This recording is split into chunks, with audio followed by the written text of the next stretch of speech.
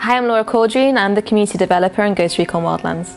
We're currently in our second year of live content at Ghost Recon Wildlands, and this year we're holding four special operation title updates. And each of these updates is based on a very strong central theme upon which we deliver new PvE and PvP content for our players.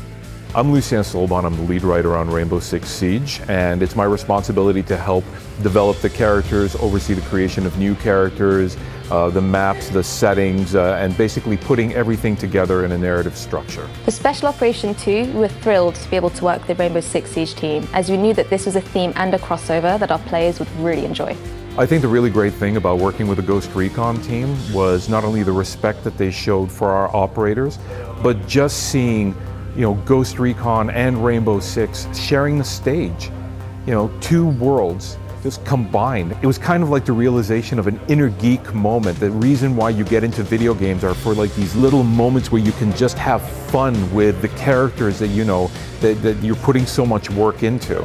To merge two different brands into one scenario, you need to follow a specific narration process.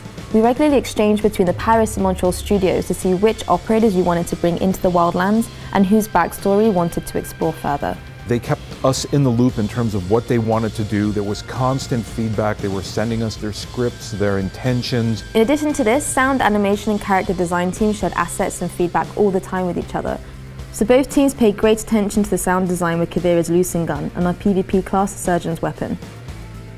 It was really cool seeing how we were able to merge our two worlds together and additionally how the Rainbow Six Siege team, they were able to develop the backstory of the operators within the Wildlands.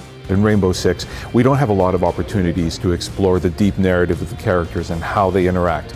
So when Ghost Recon gave us this possibility of working with, uh, with having Caveira and Valkyrie there, uh, we sort of were able to play a lot more with who the characters were and a deeper part of their backstory. When we started discussing with the Rainbow Six team about which operator we wanted to explore, it was super easy to decide.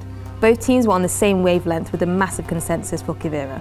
We already established in her backstory she grew up on the streets, she grew up in the favela, she had a rough childhood. We established she had a big family.